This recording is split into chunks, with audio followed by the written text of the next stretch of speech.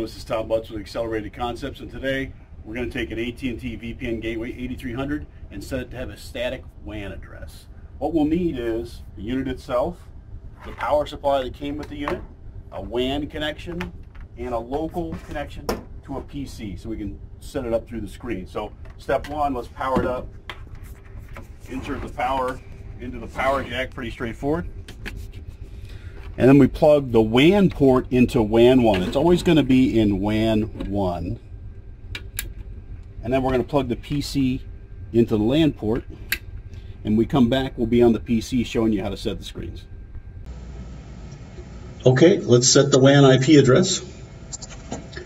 We always want to go to the address 10.10.10.1. That is the default uh, gateway on this unit when it comes out of the factory. So that'll take us to the graphical user interface of the device. And I want to hit Control Panel, Network Settings, IPv4 Settings.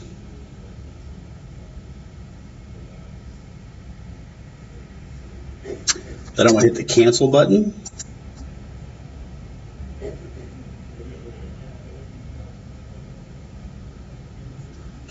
Select Static and OK.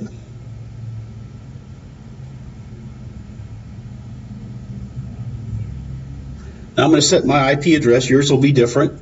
And you have to use the tab key to go between these screens.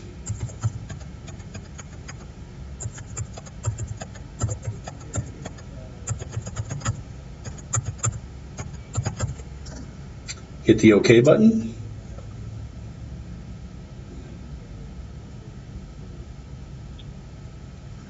and then the reboot button. And this will set our IP address in the box to be that static IP address.